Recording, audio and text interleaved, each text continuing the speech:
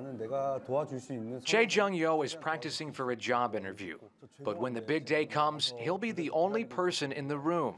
He'll turn on a computer at his home, and artificial intelligence will watch and listen to Che very closely.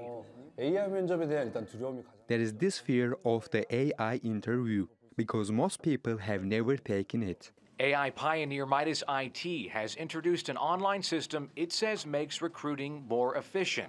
An AI bot uses a combination of facial recognition and voice analysis to tell if someone's nervous or lying. Online games with the bot determine if a candidate is passionate, sincere, or a quick thinker. Humans aren't always the best judge of this or that, so we use AI to create an objective guideline for hiring. According to job recruiting firm Career, the most common AI programs grade resumes and review essays for signs of plagiarism.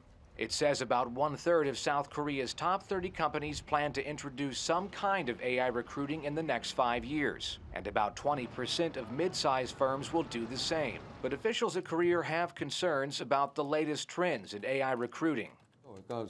If AI is able to read emotions, people will try to change their personality to fit the test. There will be more hiring errors because a company won't actually know someone's true character. For now, Midas's system has learned to read Korean expressions and mannerisms. But the company plans to expand its database and release the software abroad.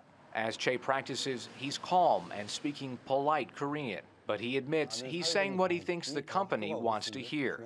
It's up to AI to sniff out whether he's telling the truth.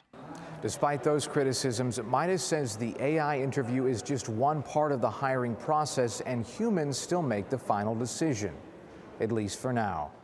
Bruce Harrison, TRT World, Pangyo, South Korea.